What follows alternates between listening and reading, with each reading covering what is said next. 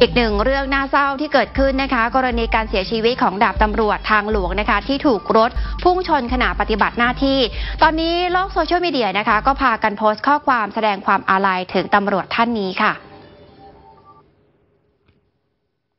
ลังจากที่มีกรณีข่าวนะคะ ว่าดาบตำรวจนัทรกิจ รังสีบุตรอายุ 38 ปีค่ะ เป็นผบหมู่ตำรวจทางหลวงหนึ่งนะคะ กองกำกับการสองกองบังคับการตำรวจทางหลวงได้ถูกรถพุ่งชนจนเสียชีวิตขณะปฏิบัติหน้าที่ล่าสุดทางครอบครัวรวมถึงเพื่อนนะคะ และมีการเดินทางไปยังจุดเกิดเหตุนะคะบริเวณริมถนนพระรามสองขาออกจังหวัดสมุทรสาคร เพื่ออัญเชิญดวงวิญญาณกลับบ้านเกิดที่จังหวัดสุพรรณบุรีค่ะท่ามกลางบรรยากาศที่โศกเศร้า ซึ่งขณะนี้นะคะในโลกออนไลน์ก็มีเพื่อนตำรวจรวมถึงประชาชนที่รู้จักได้มีการโพสต์ข้อความค่ะ แสดงความอาลัยต่างๆ พร้อมระบุด้วยนะคะว่าดาบวุฒิคนนี้เป็นตำรวจน้ำดี เป็นที่รักของเพื่อนร่วมงาน มีสัมมาคารวะ สุภาพพูดน้อย แล้วก็รักครอบครัวมากด้วย